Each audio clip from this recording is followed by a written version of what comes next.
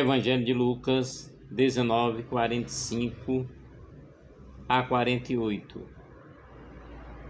Naquele tempo, Jesus entrou no templo e começou a expulsar os vendedores, e disse: Está escrito: Minha casa será casa de oração. No entanto, vós fizeste dela um antro de ladrões. Jesus ensinava todos os dias no templo. Os sumos sacerdotes, mestres da lei, os notáveis do povo procuravam modo de matá-lo. Mas não sabia o que fazer, porque o povo todo ficava fascinado quando ouvia Jesus falar. Palavra da salvação, glória a vós, Senhor. Minhas ovelhas escutam minha voz, eu as conheço e elas me seguem. Palavra da salvação, glória a vós, Senhor. Que as palavras do Evangelho apaguem nossos pecados.